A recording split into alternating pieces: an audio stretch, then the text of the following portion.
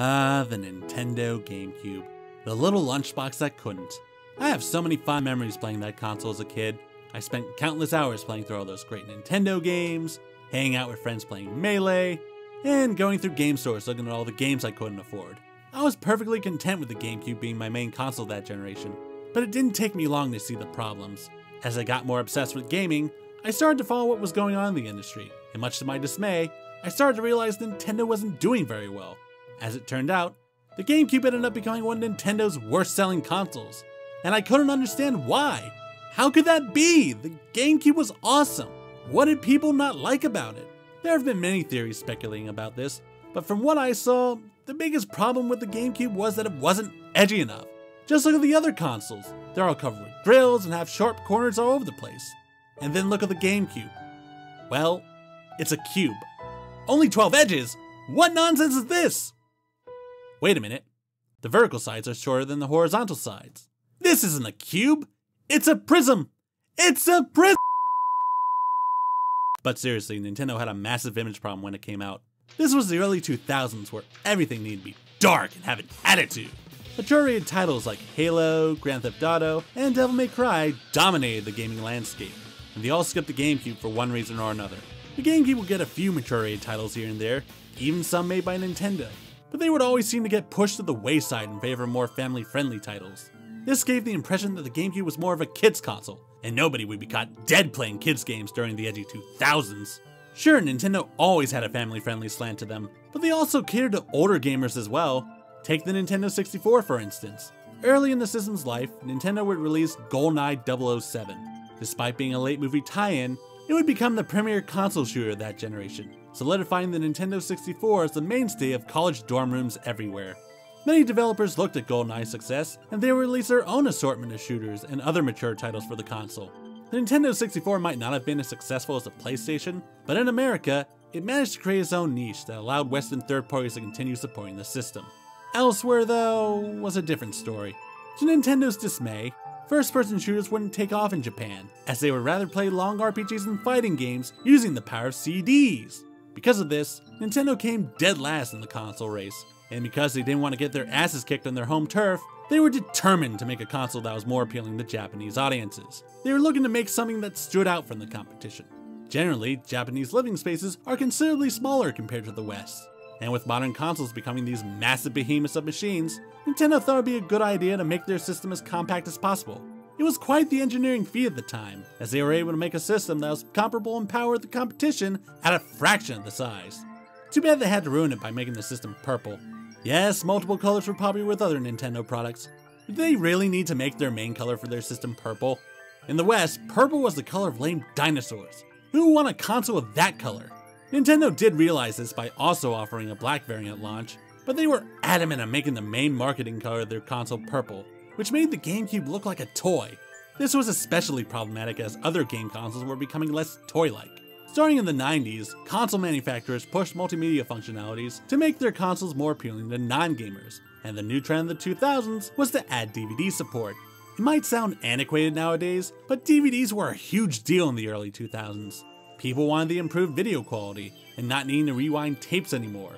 The only problem was standalone DVD players were expensive, but if you bought a game console, you could get a DVD player for cheap while also being able to play games. This added a ton of value to consoles, but Nintendo didn't care because they were too paranoid about piracy. They knew they needed to switch to some disc-based format since the small and expensive cartridges were becoming too much of a hindrance, but they didn't want to pay the DVD fees, and of course, deal with ripped discs. As a compromise, Nintendo created their own custom mini disc format for games, while making the disc drive too small to hold regular discs. But there was one problem. The smaller discs still couldn't hold enough data, especially as developers were working with DVDs on other consoles. They could use multiple discs if they wanted bigger games, but it cost too much since they had to buy discs directly from Nintendo. Because of this, many third parties decided the GameCube wasn't a good fit for their games, and skipped it entirely. Some would say this problem was overblown, as most games of that gen didn't need all the DVD space, and could be tweaked to fit on a GameCube disc. This might be true, but another reason why many devs skipped out on the console was because Nintendo wasn't bringing in the desired audience for their games, meaning they're focusing heavily on family-friendly titles. And boy did they go hard appealing to kids. Even when comparing Nintendo's titles to kids' titles on other platforms, A lot of these games felt like Nick Jr. compared to the other consoles Nickelodeon. Take Super Mario Sunshine for example. Being the long-awaited sequel to one of the greatest games ever made, many people were excited to see how Nintendo could top it. Instead, we ended up with a game that was focused more on cleaning up gunk than being a solid platformer. There are less levels than 64, there are too many collectibles, the voice acting was cringingly cheesy, and those ads were just dumb. Cherish life and never waste. Everyone loves a sunshiny day. We're gonna keep it that way. With the next Zelda, everyone was expecting a darker setting after Majora's Mask, and especially after the tech demo they showed at Space World. However, when we ended up getting this cel-shaded game where Link looks like a deformed fetus, everyone was pissed! Even though Wind Waker was well received by critics, a lot of people couldn't get over the cartoonish graphics, and it became the poster child for why the GameCube was seen as kiddie. It got so bad that Nintendo conceded and gave those fans the game they actually wanted, only for them to hate that game too! It seemed like many of Nintendo's games ended up disappointing to a lot of people. To many, it felt like Nintendo had lost their touch, but at least they would have Rare to carry them through. Oh wait! For some reason, Nintendo decided to let Rare go. After refusing to purchase the Stamper Brothers stake of the developer, Microsoft rushed in and bought them instead. It was a shock to everyone seeing how much they helped in bringing out games for the Nintendo 64 during its dry periods. In Nintendo's defense, many of Rare's Golden Age developers had already left by that point, but it was still a huge blow to their portfolio, even if their last game was. Oh dear god! Speaking of Microsoft, they were entering the console market with the Xbox, and they needed all the help they could get. A lot of people were skeptical at first, but people soon warmed up to it once they saw all the cool features it had. It was more powerful than the GameCube, had an incredible online system for the time, and it could even play DVDs once you bought a remote. It also had a great library of games, but the one game that stood out from the others was the killer app, Halo. Much like GoldenEye was for the Nintendo 64, Halo revolutionized the way we played shooters on consoles, making the Xbox a new, cool system for shooters of that generation. Even if the Xbox didn't do that much better compared to the GameCube, third parties still supported it due to the more mature audience. And then you get to the real competition. This would be the real reason why the GameCube failed, and its name is the PS2. My god was this thing a beast when it came out. Sony used the momentum they had with the PS1 to dominate everyone before the competition even arrived. Hell, the PS2 was able to kill the Dreamcast on hype alone. Within its first year in the market, it had already obtained some of the greatest games of all time, and Nintendo would never be able to catch up by that point. Even with a decent library of games at launch, many people were still disappointed with what the GameCube offered. People wanted a DVD player. People wanted to play mature rated titles with serious stories and tons of killing. And all Nintendo had was a purple lunchbox. It also didn't help that the advertising was god awful. Seriously, I know avant garde was the style of the time, but these ads made no sense. They were just random cubes floating in space.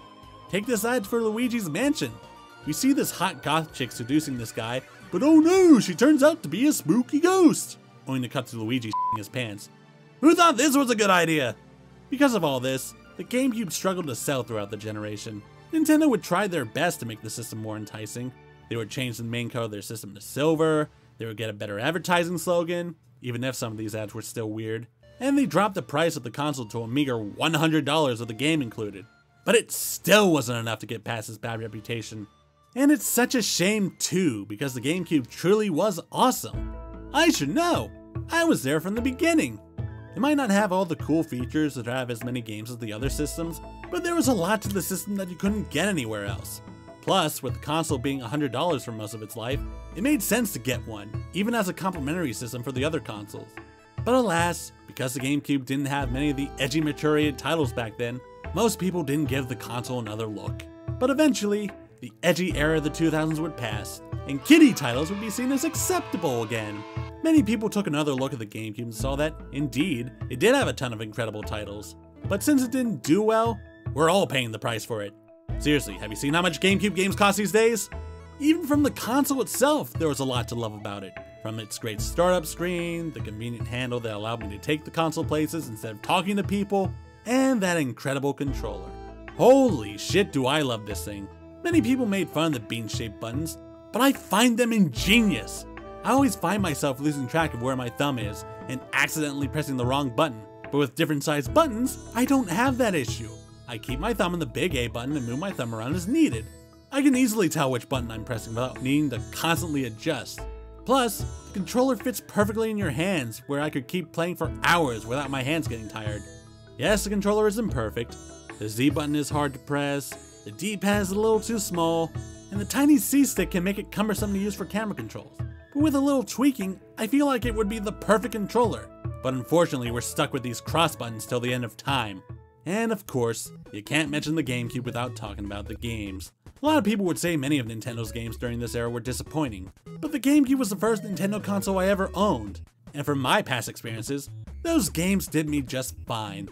Hell, a lot of GameCube games are considered to be some of the best games in their respective franchises, like Metroid Prime, Paper Mario The Thousand Year Door, F-Zero GX, and the one game that people play instead of bathing for the past 20 years, Super Smash Bros. Melee.